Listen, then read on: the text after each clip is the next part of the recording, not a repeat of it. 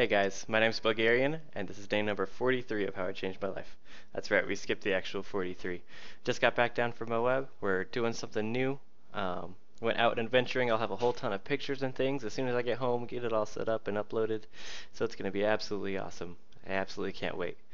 For today, we're just sticking to the main checklist. So look down below. Uh, we are going to up the meditate time to four and a half minutes. I did that this morning while I was down in Moab get a little bit of yoga done. Um, anything nice and easy, little personal. And that'll be everything for you. I hope you all have a great evening. Uh, we'll have some real videos coming in really quick again, but nice little update while I'm at the Van Lady Love house here. My name's Belgarion. This is number 43 of How I Changed My Life.